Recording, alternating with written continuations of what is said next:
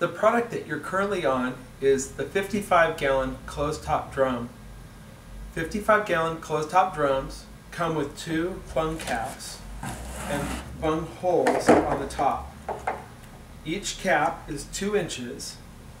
One cap has fine threads and has a three quarter inch pipe knockout in it.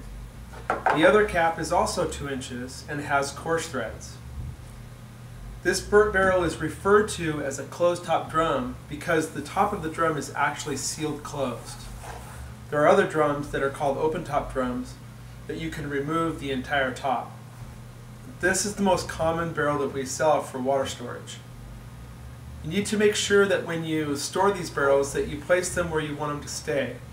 These barrels weigh about 460 pounds when they're full, so it's pretty difficult to move them. If you're filling the, water, uh, the barrel from city water, you can fill the barrel up and rotate the water about once a year. You want to make sure that the barrels are stored in a, a cool, uh, shaded location. Um, the more sun you get and the more heat, the more often you need to rotate your water. The other option that you have is you can fill these barrels up and add water preserver. And the water preserver allows you to extend the storage time to about five years.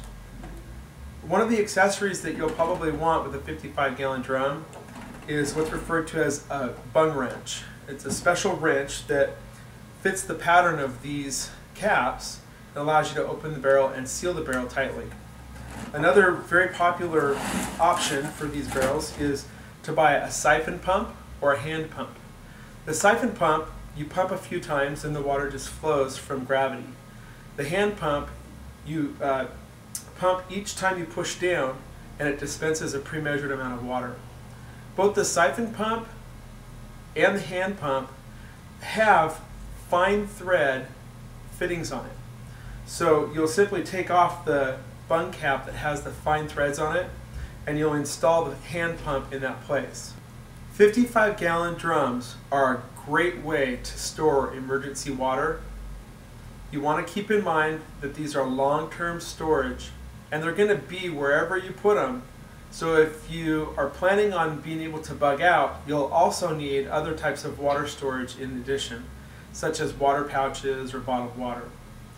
Thanks for visiting disasterstuff.com and if you have any questions about this or any of our products, feel free to give us a call.